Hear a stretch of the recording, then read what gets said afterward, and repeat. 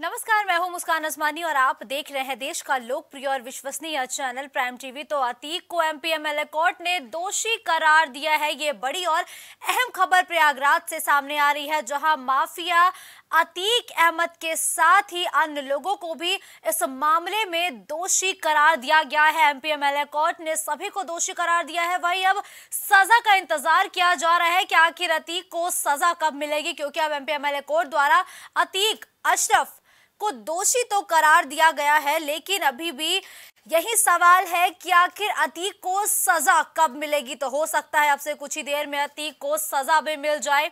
तो वही आपको बताते चले कि इस वक्त की ये अहम खबर है कि अतीक अहमद एंड ब्रदर्स को दोषी करार दिया गया है, अशरफ को भी दोषी करार दिया गया है। 2006 के उमेश पाल अपहरण मामले में अतीक को दोषी करार दिया गया है। सुबह से ही लगातार सबकी नज़रें इस खबर पर बनी हुई थी कि क्या अतीक को दोषी करार दिया जाएगा, क्या अतीक को सजा मिलेगी? तो आखिरकार अब एमपीएमएल कोर्ट का ये फैसला भी सामने आ चुका है और अतीक को दोषी करार दिया गया है। लेकिन अब सजा का इंतज़ार है, क्योंकि अतीक पर सौ से ज़्यादा मुकदमे दर्ज है, लेकिन आज तक किसी भी मामले में सजा नहीं मिल पाई है। तो वहीं एक बार फिर से अतीक को अपहरण के मामले में दोषी करार दिया है, लेकिन अब सजा का इंतज़ार लगातार किया जा रहा है और हो सकता है कि अब से महज कुछ ही देर में सजा का ऐलान भी हो जाए और अतीक अहमद को सजा भी मिल सकती है। तो ये इस वक्त की बड़ी और अहम खबर प्राइम टीवी के माध्यम से लगातार हम आप तक पहुँचा रहे हैं। पल पल की अपडेट हम लगातार सुबह से प्रयागराज से सीधी तस्वीरें हम आप तक पहुँचा रहे थे। पल पल की अपडेट हम अपने दर्शकों तक दे रहे थे कि इस वक्त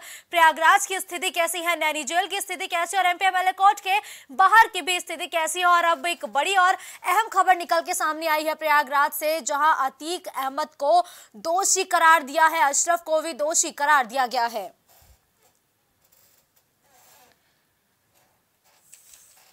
तो उमेश पाल अपहरण के मामले में साल 2006 का ये केस था, जिसमें अतीक अहमद को दोषी करार दिया गया है, अशरफ को भी दोषी करार दिया गया है। ये वही अतीक अहमद है जो पाँच बार विधायक रहे, एक बार सांसद रहे। और ऐसे सांसद रहे जिन्हें शायद ही भगौड़ा घोषित किया गया हो आज से पहले किसी सांसद को, लेकिन अतीक अहमद को भगौड़ा भी घोषित किया जा चुका है। वही अतीक अहमद पर एमपीएमएलए कोर्ट ने आरोप जो है वो तय कर दिए हैं। बस अब सजा का इंतज़ार है कि आखिर कब अतीक अहमद को सजा मिलेगी। अतीक अहमद को उसके गुनाहों की सजा कब मिलेगी? बस अब पूरा प्रयागराज के साथ पूरा यूपी अब इसी का इंतज़ार कर रहा है क्योंकि अतीक अहमद वो नाम है जिससे पूर्वांचल खौफ खाता था, जिससे बच्चे खौफ खाते थे तो अब उसी अतीक अहमद को एक बार दोषी करार दिया गया है। बस सजा का इंतज़ार है। कड़ी सुरक्षा के बीच आज अतीक को एमपीएमएलए कोर्ट में पेश किया गया। वही पूरे पुलिस के अधिकारी के साथ करीबन 300 पुलिसकर्मी एमपीएमएलए कोर्ट के बाहर मौजूद रहे, जिसके बाद अब ये फैसला आया है कि जो अतीक अहमद है, वो आरोपी पाए गए हैं, जिनके बाद अब उन्हें करार दिया गया है कि वो दोषी है, लेकिन अब बस सजा का इंतज़ार है और हो सकता है कि अब से मैं कुछ ही देर में इस मामले पर सजा भी आ जाए कि आखिर अतीक अहमद को कौन कौन सी धाराओं में सजा दी गई है और कितनी महत्वपूर्ण होगी वो धाराएँ? क्या उससे बचने का कोई रास्ता होगा अतीक के पास या फिर नहीं? अब ये तो वक्त ही बताएगा और अब से कुछ समय में ये भी साफ़ हो जाएगा कि अतीक अहमद को किन किन धाराओं में सजा सुनाई गई है, क्योंकि अतीक अहमद अशरफ को दोषी तो करार दिया गया है, लेकिन अब बस सजा का इंतज़ार बाकी है। आपको बताते चले कि 25 जनवरी 2005 को बसपा विधायक राजू पाल की गोली मारकर हत्या कर दी गई थी। इस केस में अतीक अहमद, उसका भाई अशरफ समेत कुल पाँच आरोपी नामजद थे, जबकि चार अज्ञात को आरोपी बनाया था। और इस केस में राजू पाल के रिश्तेदार उमेश पाल मुख्य गवाह था। उमेश का 28 फरवरी 2006 को अपहरण कर लिया गया था। इसका आरोप अतीक अहमद और उसके साथियों पर लगा था और उमेश ने आरोप लगाया था कि अतीक ने उसके साथ मारपीट की है और उन्हें जान से मारने की धमकी दी है। वहीं सत्रह साल पुराने उमेश वाला अपहरण केस में आज प्रयागराज की एमपी एमएलए कोर्ट ने एक बेहद ही बड़ा फैसला सुनाया है। कोर्ट ने बाहुबली अतीक, उसके भाई अशरफ समेत कुल दस आरोपियों को अब दोषी करार दिया है। तो इस मामले में कुल ग्यारह आरोपी थे, जिनमें से एक की मौत हो गई है। वही कोर्ट थोड़ी देर बाद अब सजा सुनाएगा। इससे पहले सोमवार को अतीक अहमद को गुजरात की साबरमती जेल से प्रयागराज लाया गया था। उसके बाद और उसके भाई को अशरफ को भी बरेली जेल से प्रयागराज लाया गया था, जिसके अलावा एक अन्य आरोपी फरहान को भी यही लाया गया था। तो 17 साल बाद और 17 साल पुराने केस में जो अतीक अशरफ के साथ कुल 11 आरोपी हैं, सभी दोषी करार दिए गए हैं, लेकिन उन 11 आरोपियों में से एक आरोपी की मौत हो चुकी है। वही अब इस मामले पर कोर्ट थोड़ी देर में सजा भी सुनाएगा। इनमें से एक की मौत हो गई है और इससे पहले सोमवार को अतीक अहमद को साबरमती से प्रयागराज के नैनी जेल लाया गया था। साथ ही साथ अशरफ को भी बरेली से प्रयागराज के नैनी जेल शिफ्ट किया गया था। और ये भी आपको बता दें कि इन दोनों की ही बैरक अलग थी और आज पहली बार जब ये दोनों कोर्ट में पेश हुए तो दोनों का आमना सामना भी हुआ है। वही कोर्ट ने अतीक अहमद अशरफ, दिनेश पासी, अंसार अहमद उर्फ़ अंसार बाबा, खान सौलत हनीफ, फरहान, इसरार, आबिद प्रधान, आशिक मल्ली और अजाज अख्तर को दोषी करार दिया है। तो हम ये आपको उस नामों की लिस्ट बता रहे थे जो दोषी करार दिए गए हैं। एक आरोपी अंसार अहमद की इनमें मौत भी हो चुकी है। अभी अतीक अहमद अशरफ और फरहान जेल में थे और बाकी आरोपी जमानत पर चल रहे थे, लेकिन आज एमपीएमएलए कोर्ट ने जब ये फैसला सुनाया है तो इससे साफ़ हो गया है कि ये सभी दोषी करार दिए गए हैं और अब से कुछ ही देर में सजा का ऐलान भी हो सकता है। हो सकता है कि अतीक अहमद एंड कंपनी को सजा भी मिल जाए। तो मेषवाल अपहरण केस में अतीक अहमद को प्रयागराज के एमपी एमएलए कोर्ट ने दोषी करार दिया है। सत्रह साल बाद इस केस में कोर्ट ने फैसला सुनाया है। तो सुबह से ही पुलिस का कड़ा पहरा था प्रयागराज में। नैनी जेल के बाहर से लेके एमपी एमएलए कोर्ट तक और पूरे ही रस्ते पर चप्पे चप्पे पर पुलिस बल की तैनाती की गई थी। सीसीटीवी से निगरानी की जा रही थी, जिसके बाद अतीक अहमद अशरफ को एमपीएमएलए कोर्ट में पेश किया गया और जहाँ पर यह फैसला सुनाया गया कि ये सभी लोग जो है वो दोषी करार दिए गए हैं, जिसके बाद अब थोड़ी ही देर में सजा का भी ऐलान हो सकता है। और ये केस इसलिए भी काफ़ी अहम माना जा रहा है क्योंकि अतीक अहमद पर तकरीबन 100 से ज़्यादा मुकदमे दर्ज है, लेकिन अभी तक किसी भी मामले पर अतीक अहमद को सजा नहीं सुनाई गई है। तो आज अगर अतीक अहमद को सजा सुनाई जाती है तो कहीं ना कहीं अतीक अहमद के लिए बेहद ही बड़ा और बुरा दिन होगा, क्योंकि आज पहली बार हो सकता है कि अतीक अहमद को सजा सुनाई जाए। वही कोर्ट ने अतीक अहमद, अशरफ दिनेश, पासी अंसार अहमद उर्फ़ अंसार बाबा, खान सौलत हनीफ, फरहान इसरार, आबिद प्रधान, आशिक मल्ली और अजाज अख्तर को दोषी करार दिया है, जबकि इनमें से एक आरोपी अंसार अहमद की मौत हो चुकी है। अभी अतीक अहमद, अशरफ और फरहान जेल में थे और बाकी आरोपी जमानत पर बाहर थे। तो अतीक समेत सभी दस आरोपी अब दोषी करार दिए गए हैं और अब से कुछ ही देर में सजा का भी ऐलान हो सकता है, क्योंकि आपको बताते चले कि 2006 में उमेश पाल का अपहरण हुआ था। राजू पाल हत्याकांड के मुख्य गवाह माने जा रहे थे उमेश, जिन्हें भी इस साल मौत के घाट उतार दिया गया। दिन दहाड़ो उमेश पाल पर गोरिया चली, बमबारी हुई प्रयागराज में, जिसके बाद अब उनके अपहरण के मामले में ये सजा सुनाई गई है। सत्रह साल बाद इस केस में जो है वो कोर्ट का फैसला आया है, उन्हें दोषी करार दिया गया है। बस अब सजा का इंतज़ार है और अब से कुछ ही देर में ऐसा हो सकता है कि अतीक अहमद को सजा भी मिल जाए। तो अतीक अहमद अभी तक कई मामलों में दोषी तो करार दिए गए हैं, लेकिन आज तक उन्हें सजा नहीं मिल पाई थी और आज एक बार फिर से एमपीएमएलए कोर्ट ने उन्हें दोषी करार दिया है। बस अब सजा का इंतज़ार है कि आखिर कौन कौन सी धाराओं में अतीक को सजाएँ मिलेंगी वो धाराएँ, वो उन धाराओं से अतीक बच पाएँगे या नहीं? और अतीक अब हाईकोर्ट या सुप्रीम कोर्ट कहाँ का दरवाज़ा खटखटाएँगे सजा मिलने के बाद ये देखना भी काफ़ी अहम हो जाता है। वहीं आपको बताते चले कि प्रयागराज कोर्ट के फैसले से अतीक अहमद को सुप्रीम कोर्ट से भी एक बेहद ही बड़ा झटका लगा है। दरअसल अतीक के वकील वकील ने सुप्रीम कोर्ट में याचिका दाखिल कर जान को खतरा बताया था। वकील ने कोर्ट से सुरक्षा की मांग की थी। इस पर सुप्रीम कोर्ट ने कहा कि अतीक को जेल लाया गया है। इस, ये कोर्ट का मामला नहीं है। आप हाईकोर्ट जाइए।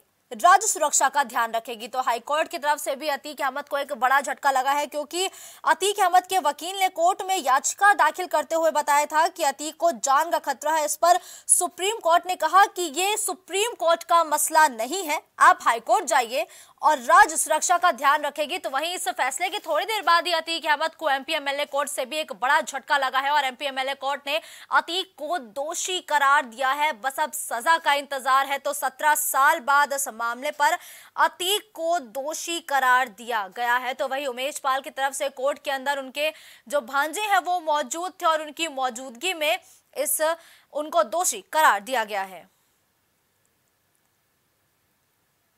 वहीं अगर अतीक के राजनीतिक करियर पर एक नज़र डाले तो अतीक पाँच बार विधायक रहे हैं, एक बार सांसद रहे हैं। और वही उनकी पत्नी शाइस्ता परवीन अभी भी बसपा का हिस्सा रही हैं, लेकिन अतीक पाँच बार विधायक और एक बार सांसद रहने के बावजूद भी अपराध की दुनिया से, जुर्म की दुनिया से उनका गहरा नाता था और लगातार इसकी खबरें भी सामने आती थी।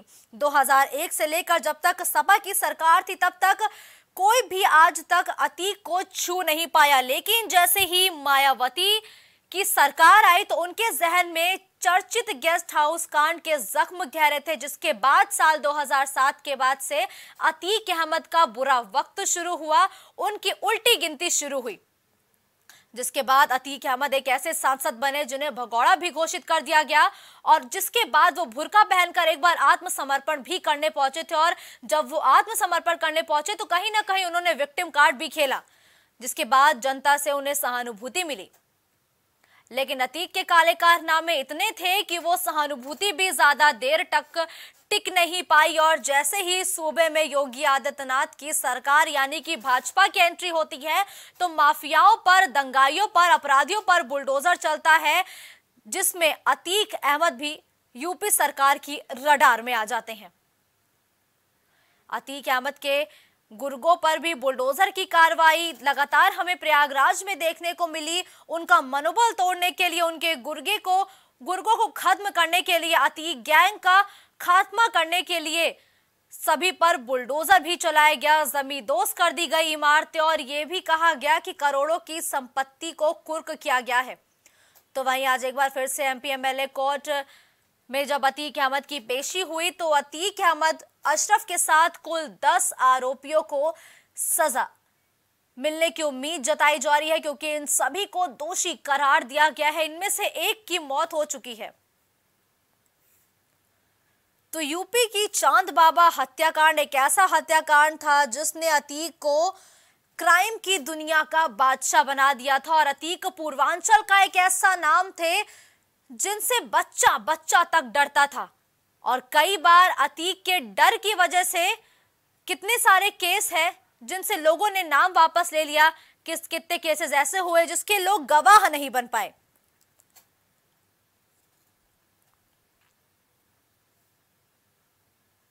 तो आज एमपीएमएलए कोर्ट ने अतीक अहमद को, अशरफ को दोषी करार दिया है। उनके साथ कुल दस लोगों को और दोषी करारा गया है, जिनमें से एक की मौत हो गई है। तो पूर्वांचल का वो चेहरा, जिसके आदेश के बिना वहाँ का एक पत्ता नहीं हिलता था, जिसने कहीं ना कहीं सूबे की सत्ता में भी अपने अपराध के ज़रिए एक मज़बूत पकड़ बनाई, वो नाम था अतीक अहमद, जिसकी उल्टी गिनती अब शुरू हो चुकी है। वहीं आज एमपीएमएलए कोर्ट ने अतीक अहमद को दोषी करार दिया है और अब से कुछ ही देर में सजा का भी ऐलान हो जाएगा। तो ये देखने वाली बात होगी कि अतीक को आखिर कब तक सजा मिलती है और क्या सजा मिलती है और किन धाराओं में सजा मिलती है। वहीं अतीक के साथ ही उनके पाँच बेटे भी अपराध की दुनिया में काफ़ी नाम कमा चुके हैं। उमर अहमद इस वक्त लखनऊ जेल में है, अली अहमद इस वक्त नैनी जेल में है, असद अहमद प्रयागराज में है, जिन पर केस दर्ज किया गया है। प्रयागराज केस में आरोपी है वो भी। एहजम अहमद नाबालिग हैं, अबान अहमद भी नाबालिग हैं। तो जिस तरीके से अतीक का अपराध की दुनिया से एक काला रिश्ता रहा है तो उनके बेटों का भी अपराध की और जुर्म की दुनिया से काफ़ी गहरा नाता रहा है, क्योंकि इनमें से जो तीन बेटे हैं, उमर अहमद, अली अहमद, असद अहमद, इनमें से दो बेटे एक लखनऊ जेल में है, दूसरा नैनी जेल में है तो एक प्रयागराज केस में भी आरोपी है।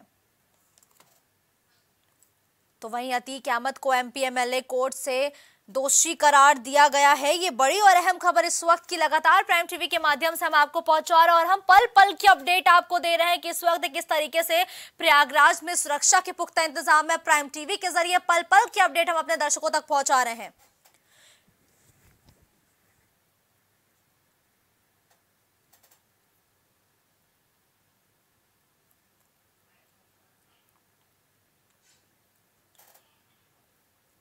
तो आज एम एमपीएमएलए कोर्ट ने अतीक अहमद को दोषी करार दिया है। बस अब सजा का इंतज़ार और हो सकता है अब से महज कुछ ही देर में अतीक अहमद को सजा भी मिल जाए, किन किन धाराओं में सजा मिलेगी, ये तो थोड़ी देर में तय होने की उम्मीद जताई जा रही है। उसके बाद अतीक का अगला कदम क्या होगा? जो अतीक के वकील हैं, उनका अगला कदम क्या होगा? ये समय बताएगा और ये देखने वाली भी बात होगी। तो वहीं इस दौरान अतीक के वकील का बयान भी सामने आया है। उन्होंने क्या कुछ कहा है? चलिए आपको वो भी सुनाते हैं। ये बताना एकदम से असंभव है। जी। तो क्या अगली रणनीति क्या होगी यहाँ से? आज आज के बाद। निर्णय निर्णय के बाद।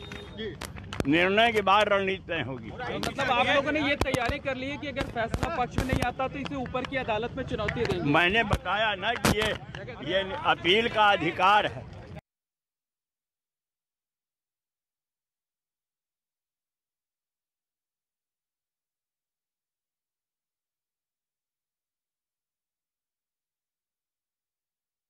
तो एमपीएमएलए कोर्ट से अतीक अहमद को आज बड़ा झटका लगा है, जहाँ इस फैसले के पहले सुप्रीम कोर्ट से भी अतीक अहमद को बड़ा झटका लगा था तो वही एमपीएमएलए कोर्ट ने अतीक को दोषी करार दिया है। बस अब सजा का इंतज़ार है, क्योंकि अतीक के गुनाहों का अब हिसाब होगा। अतीक का काउंटडाउन शुरू हो चुका है, अतीक के गुनाहों का अब काउंटडाउन शुरू हो चुका है।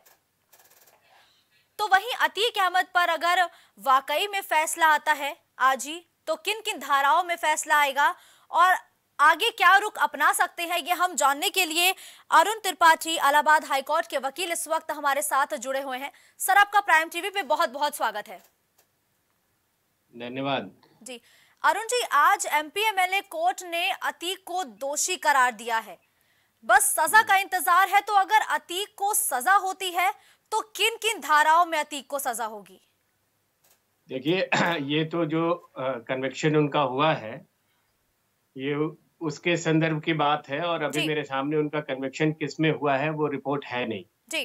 तो फेयरली ये है कि उनके जो अपराध हैं उस अपराध में संगीन धाराएँ हैं और जो कम से कम 20 वर्ष के कारावास की सजा का की उम्मीद हम अधिवक्ता लोग लगा रहे हैं क्योंकि जिस तरह से अपराधियों का हीरोइजन हुआ है कि वो हीरोइक हो गए हैं हीरो की तरह से लाया गया है यह इस देश का दुर्भाग्य है।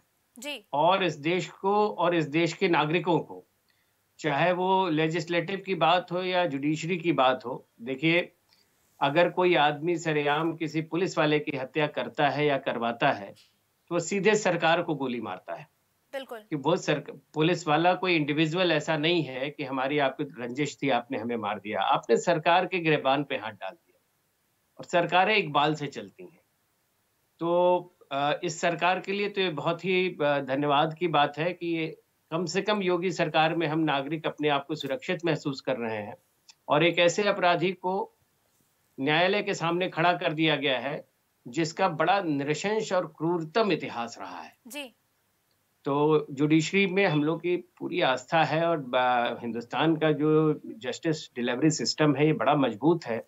बस यही जो देरी की कार्रवाई होती थी प्रशासन के स्तर पर उस देरी को इन्होंने थोड़ा शीघ्र कर दिया है। जी। तो हम भी इंतज़ार कर रहे हैं कि वो सेंटेंस क्या होगा और उसके बाद हम लोग इस पे तफसील से चर्चा करेंगे। अरुण जी अतीक अहमद की अगर हम एक बार इतिहास पर नज़र डालें तो तकरीबन 100 से ज़्यादा केस उन पर दर्ज है लेकिन आज तक किसी भी मामले में सजा नहीं सुनाई गई तो ऐसा क्यों हुआ? हमाम में सब नंगे हैं मुस्कान जी। आप एक बात को हमेशा जान लीजिएगा कि अतीक अहमद की स्थिति एक किसी सक्षम दरोगा के काबू के बाहर की नहीं है। जी। लेकिन जब भी सरकारों की सरपरस्ती होगी तो कोई एग्जीक्यूटिव बॉडी का कोई भी डिलीवरी सिस्टम पे बैठा जो आदमी है वो आदमी नहीं कर पाता है। वो बंधा हुआ रहता है अपने ऊपर के हाकिमों के आदेश पर। बिल्कुल। इसलिए इसलिए इनके साथ ये समस्या है कि बाकी लोगों के तो ट्रायल होते हैं लोगों को बेल नहीं मिलती है। बीस बीस साल से लोग मुजरिम अपना सजा पूरी करके जेलों में बंद हैं। लेकिन वो जो दुर्दांत लोग हैं वो चाहे इस पार्टी के हो चाहे उस पार्टी के हो वो न्याय व्यवस्था का दुरुपयोग करके और कुछ प्रशासनिक व्यवस्था का दुरुपयोग करके वो खुलेआम घूमते हैं और यही कहते हैं। मुझे अतीक अहमद का वो स्टेटमेंट याद है कि उन्होंने एक बार नैनी जेल से निकलते हुए कहा था कि अगर हिंदुस्तान में कोई कानून सच में है तो अभी तक मुझे पचास बार फांसी हो जानी चाहिए। हम्म। तो निश्चित तौर पर और इनके पीछे बहुत से ऐसे लोग हैं जो हर वर्ग में बैठे हैं। वो बुद्धिजीवी भी हैं वो अधिकारी भी हैं वो कुछ जुडिशरी सिस्टम के भी कुछ वकील भी हैं जो हर स्थिति में ये बात कहते हैं कि नहीं साहब ये मुजरिम नहीं। जी। तो आज की तारीख में वो अदालत के सामने आज फैसले की घड़ी है और पूरे देश के नागरिकों को मुस्कान जी। इस चीज़ की पूरी तरह से व्यग्रता से इंतज़ार है कि इस देश में क्या किसी अपराधी को, बड़े अपराधी को सजा होती है कि नहीं? सवाल यह है। जेरेमी बेंथम ने कहा था, एक इंग्लिश दार्शनिक है और ज्यूरिस्ट है, उसने कहा था क्राइम डजंट पे अपराध कभी आपको कुछ नहीं देता है। और उसने पनिशमेंट थियरी के संदर्भ में कहा था कि जो रेट्रीब्यूटिव थियरी ऑफ़ पनिशमेंट और जस्टिस है, ये सिर्फ़ इसलिए है कि अपराधी को कहे कि तुम्हें तुम्हारे अपराध की सजा दी जा रही है और समाज को ऐसे अपराधियों से बचाए। जी। तो ये बहुत ही गंभीर विषय है। आज मैंने एक और हमारे बाइट थी तो मैंने कहा अतीक का काफिला आ रहा था। तो मैंने कहा बताओ एक अपराधी को हिंदुस्तान ने हीरो की तरह से बना दिया नायक की तरह से बना दिया। तो ये शर्मनाक है। बिल्कुल। सर मेरा अब अगला सवाल आपसे ये है कि अतीक पर कई धाराओं में मुकदमे दर्ज किए हैं लेकिन अभी तक लोगों को उन धाराओं के बारे में नहीं पता है तो हम उन धाराओं के बारे में आपसे जानना चाहेंगे जैसे कि अभी- 147, अभी- 148 और 149 इन तीनों धाराओं में क्या अंतर है? और ये क्या है ये तीनों धाराएँ? दरअसल अभी मेरे सामने उनकी रिपोर्ट नहीं है उस पर कुछ भी कहना मेरे लिए ठीक नहीं क्योंकि मैंने अतीक अहमद के इस केस को फॉलो नहीं किया है। जी। लेकिन जो अपराध और जस्टिस के बीच की बात है कि न्याय होना चाहिए कि नहीं होना चाहिए वर्तमान स्थिति क्या है? और मैं बहुत शॉर्ट नोटिस पे आपके चैनल पर हूँ। मैं अभी हाईकोर्ट में ही था। तो उसके संदर्भ में अभी कुछ कहना मेरे लिए? जल्दबाजी। अच्छा सर 364 ए ये कहा जा रहा है कि अतीक को हो सकता है कि इस धारा के तहत सजा दी जाए। तो ये धारा है क्या सर? ये धारा है क्या? तो हम ये जानना चाहते हैं। अभी अभी अभी मैं आपको बता देता हूँ। दरअसल आप मेरे टीवी पे मेरे स्क्रीन पे आ नहीं रही जी। तो कुछ कनेक्टिविटी की ऐसी प्रॉब्लम है कि मैं सिंगल अपने आप से बात करता हुआ दिख रहा हूँ। जी। तो थोड़ा सा ब्रेक करके मुझे पहले स्क्रीन पर लाइए। अपने को स्क्रीन पर लाइए मैं आपको देख सकूँ। जी सर मैं कोशिश करती हूँ मैं बात करती हूँ लेकिन सर मुझे आप पहले ये बताने की कोशिश करिए कि ये 364 धारा ए ये है क्या? तीन सौ चौसठ धारा के संदर्भ में मुझे थोड़ा समय दीजिए मैं अभी आपको बता देता हूँ। जी क्योंकि लेकिन मुझे ये पे ये जानना काफ़ी अहम हो जाता है कि मान लीजिए कि अगर इनको सजा दे दी जाती है तो अब अतीक का अगला कदम क्या हो सकता है? अतीक अपील में जाएँगे अपील प्रोवाइडेड है। भारत की न्याय व्यवस्था में अभी तो पहले चरण पे आप हैं और हाँ, अपील प्रोवाइडेड है। हाईकोर्ट में इनकी अपील होगी और। हाईकोर्ट के बाद और इनके पास भी बहुत ही सक्षम और अ, उम्दा वकील हैं। तो ऐसा नहीं है कि इनको दरअसल ये किडनैपिंग में है तीन सौ चौसठ ए में। जी। और अगर ये हालाँकि किडनैपिंग का तो इनका पूरा इतिहास ही रहा है ऐसा नहीं है ये कोई छुपी हुई बात नहीं है। तो आजीवन कारावास तो आजीवन कारावास की सजा हो सकता है कि इनको सुनाया जा सके, क्योंकि 364 ए में ये प्रावधान है कि अधिकतम सजा या आजीवन कारावास की सजा हो सकती है और अधिकतम सजा में हो सकता है कि फांसी हो जाए। तो अतीक अहमद पर अगर इन वाकई में इस धारा में केस दर्ज होता है तो ये मुश्किल की बात होगी। इस- तो इसमें दर्ज है ही है। देखिए, अब इसमें मामला ये है कि मृत्यु या आजीवन कारावास के संदर्भ में एक जज के पास ये लिबर्टी रहती है कि उसका जुडिशियल माइंड जो कहता है कि अतीक अहमद का क्या रोल था उसमें? क्या उसमें उनका इंटेंशन था? किसी आदमी को किडनैप करने के पीछे क्या उनकी मंजूरिया थी? उनका आशय क्या था उसके पीछे? इन सारी चीज़ों को देख करके वो मृत्यु या आजीवन कारावास के बीच में कोई भी सजा उनको दी जा सकती है। ये हमारे जो सेशन कोर्ट के जस्टिस हैं, ये उन पर डिपेंड करता है। तो जब तक ये पूरा देखिए कन्विक्शन एक लेवल होता है कि आपको दोष सिद्ध किया गया आपको दोषी पाया गया। लेकिन अब आपको सजा क्या दी जाएगी? ये ढाई से तीन बजे के लगभग मुझे लगता है सेंटेंस उनका सुनाया जाएगा। जी। वो सेंटेंस आएगा जब ये होगा कि इतने दिन की सजा इनको मिली है तब कोई बात स्पष्ट होकर के उसके बारे में हम लोग डिबेट कर सकते हैं। अभी कुछ भी कहना जल्दबाजी।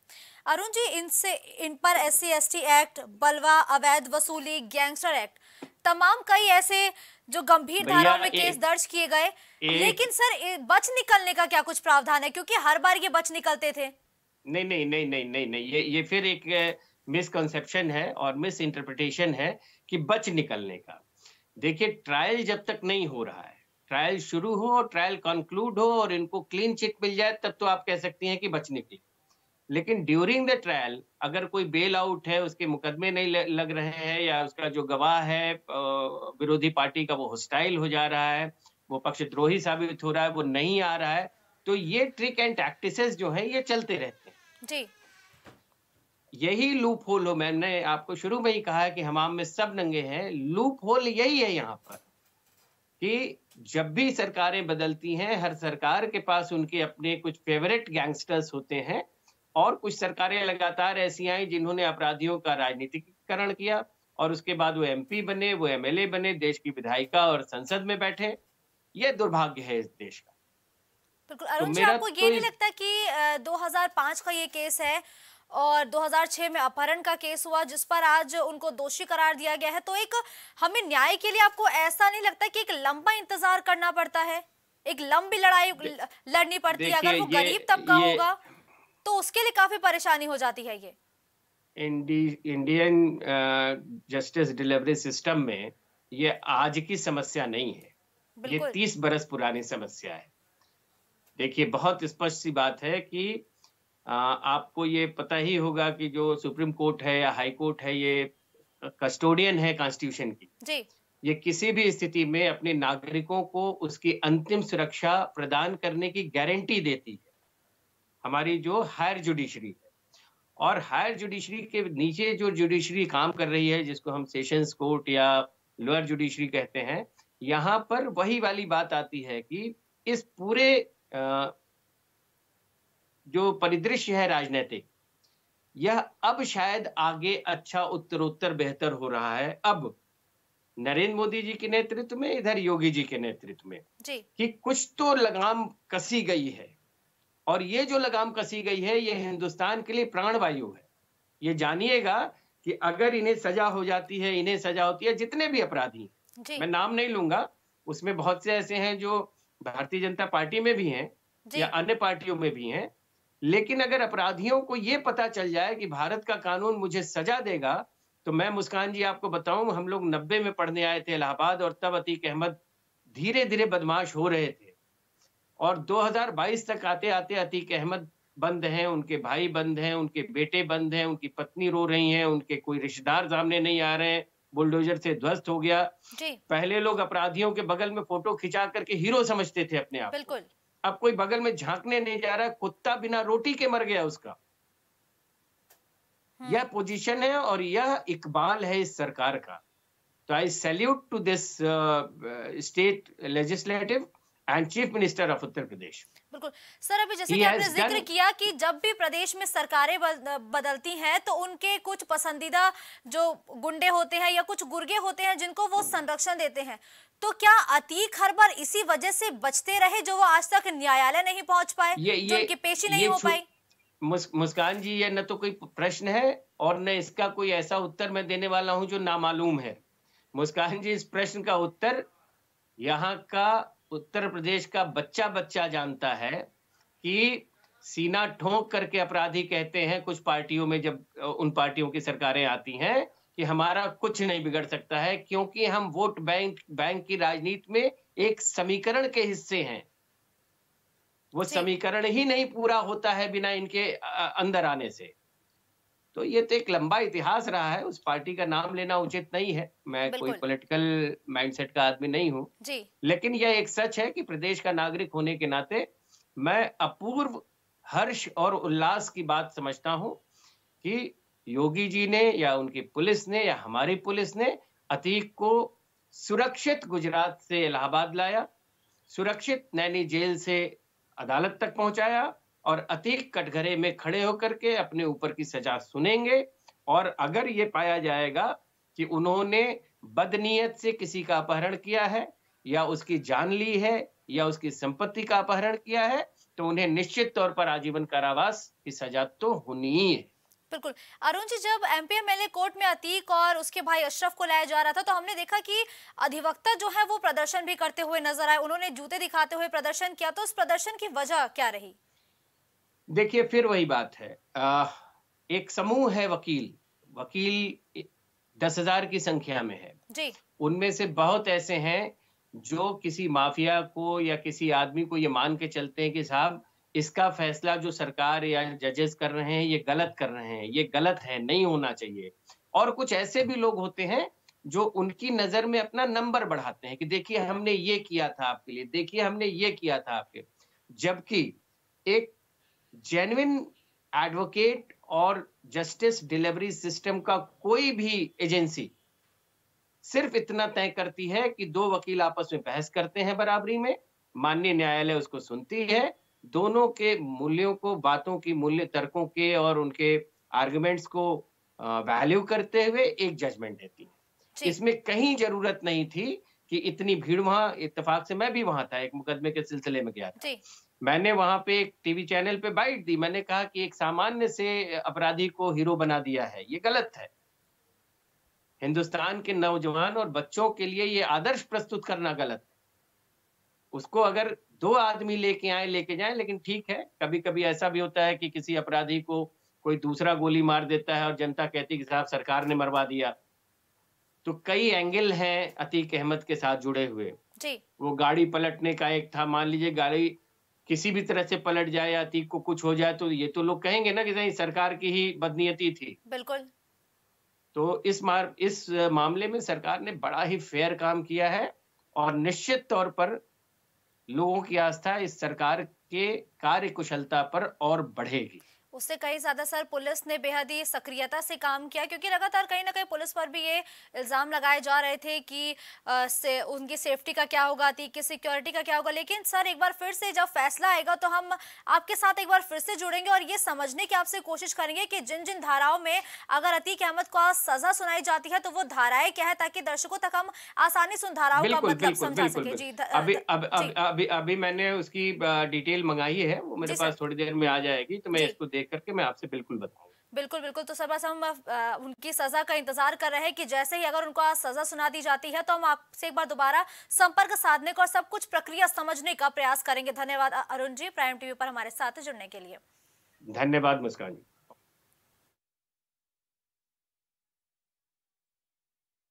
में अतीक अहमद को दोषी तो करार दिया गया है, बस सजा का इंतज़ार और हमने ये समझने की कोशिश की कि अगर अतीक को आज सजा सुनाई जाती है तो वो किन किन धाराओं में होंगी, लेकिन जब तक फैसला नहीं आएगा, जब तक उनको सजा नहीं मिल जाएगी, तब तक ये कहना काफ़ी मुश्किल होगा कि आखिर किन किन धाराओं में मुकदमा दर्ज किया गया था, किन किन धाराओं में उन्हें सजा सुनाई गई है, क्योंकि अब सभी इसी बात का इंतज़ार कर रहे हैं कि अतीक अहमद को आखिर सजा कब होगी और कितनी सजा होगी, किन किन धाराओं में सजा होगी, लेकिन अगर सूत्रों की माने तो तीन ए ऐसी सजा है जो जो ऐसी धारा है जिसमें अतीक को सबसे ज़्यादा डर है, क्योंकि अधिकतम सजा फांसी या आजीवन कारावास की इस धारा के तहत अतीक को सजा सुनाई जाती है, क्योंकि अगर सूत्रों की माने तो तीन सौ ए के तहत भी अतीक पर केस दर्ज किया गया है। वही एक सौ सैतालीस, एक सौ अड़तालीस, एक सौ उनचास, तीन सौ तेईस तीन सौ इकतालीस, पाँच सौ चार, पाँच सौ छः तीन सौ बावन और तीन सौ चौसठ के साथ तमाम ऐसी धाराएँ हैं जिन पर मुकदमा दर्ज किया गया है अतीक अहमद के ऊपर। लेकिन हैरानी की बात यह है कि इतनी धाराओं में मुकदमा दर्ज है, सौ से अधिक केस दर्ज है। लेकिन उसके बावजूद भी आखिर अतीक हर बार सजा से कैसे बच जाते थे, ये काफ़ी अहम है। डकैती के दौरान हत्या S C S T act, बलवा अवैध वसूली गैंगस्टर एक्ट समेत गंभीर धाराओं में अतीक पर केस दर्ज है। वही 2001, 2003 और 2004 ऐसे साल थे। इस इस सालों के दौरान अतीक अहमद पर जितने भी मुकदमे दर्ज किए गए थे उन सभी मुकदमों को बंद कर दिया गया या आगे रिपोर्ट ही नहीं पेश की गई। जिसके बाद अतीक अहमद काफ़ी सारे केसेस ऐसे थे जिनसे बरी हो गए या कोई उन वो दोष वो दोषी सिद्ध ही नहीं हुए।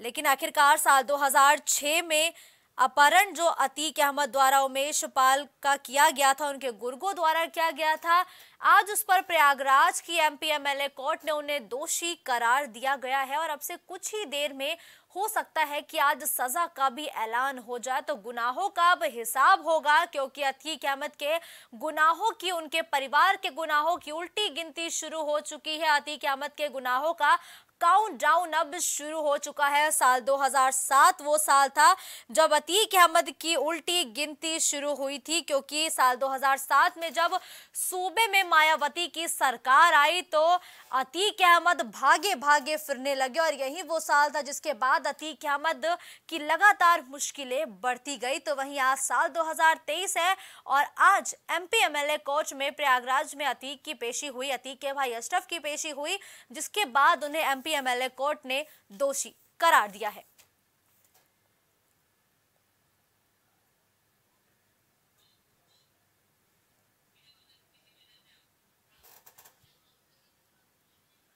तो चलिए अब आपको सीधा तो चलिए अब आपको सीधा ले चलते हैं कांग्रेस की प्रेस वार्ता में। इस दौरान क्या कुछ कह रहे हैं कांग्रेस के प्रवक्ता या नेता, ये भी सुनना काफ़ी ज़रूरी है। उसमें राहुल जी को दो साल की सजा सुनाई जाती है, जो कि अधिकतम। और 24 मार्च को लोकसभा सचिवालय ने राहुल जी की सदस्यता समाप्त कर दी।